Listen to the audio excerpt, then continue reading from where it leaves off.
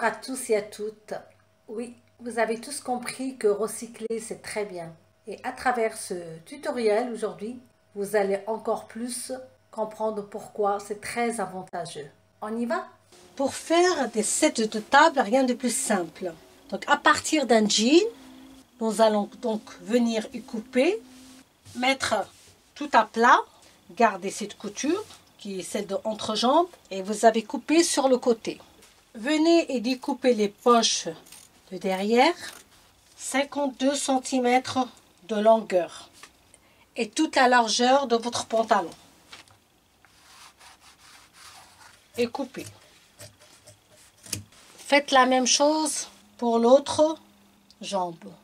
Coupez la même dimension dans de la doublure. Pour ma part, j'ai utilisé un vieux rideau.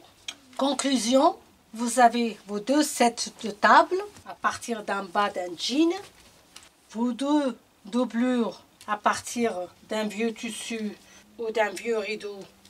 Et vous avez les deux poches du dos du jean. Prenez le set de table, endroit apparent, placez votre assiette un petit peu plus vers la droite, votre poche que vous allez positionner de travers volontairement. Vous éloignez du bord 4 cm et essayez de la positionner au milieu en laissant la même distance ici et ici. Épinglez la poche. Chauffez votre fer.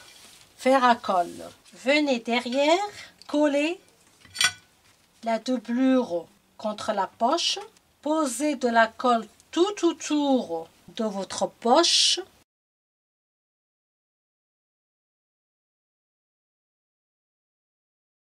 Pressez pour coller. Enlevez tout l'excédent de colle. Posez votre doublure endroit contre endroit. Épinglez. Piquez la valeur du pied presseur en faisant tout le tour et en laissant une ouverture de 10 cm. Point d'arrêt, début et fin. L'ouverture pour pouvoir tout remettre à l'endroit. N'oubliez pas de laisser l'ouverture. Coupez les angles, retournez à l'endroit à l'aide d'une baguette. Retournez bien les angles pour une plus belle finition. Épinglez la partie ouverte. Faites une piqûre nervure tout autour du rectangle. Arrivez aux angles, toujours procédez de la même manière. Plantez votre aiguille en bas, soulevez votre pied presseur, retournez la pièce, l'orientez, baissez le pied presseur et continuez votre nervure. Venir à nouveau et faites une surpiqûre de, de la valeur de pied de biche tout autour.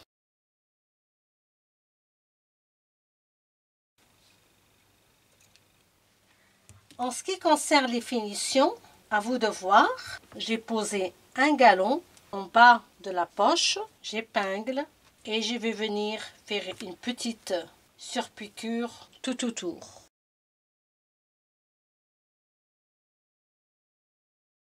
Moi, je vais rajouter un cordon. C'est la chute qui me restait du panier que nous avions fait la dernière fois. Toujours avec du recyclage, on arrive à faire plein de choses. Votre set de table réalisé. Et voilà, vous avez vu, facile, rapide et avec du recyclage. Maintenant, courage, à vous de le faire. Et à bientôt. En attendant notre prochain rendez-vous, n'oubliez pas un petit like, commentaire et surtout, abonnez-vous.